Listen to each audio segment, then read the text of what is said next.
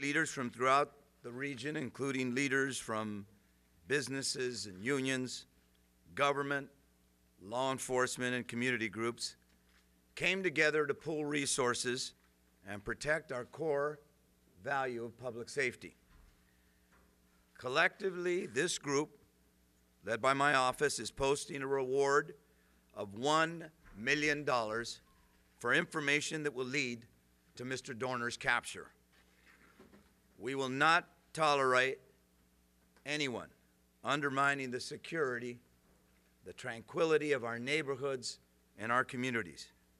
We will not tolerate this reign of terror that has robbed us of the peace of mind that residents of Southern California deserve.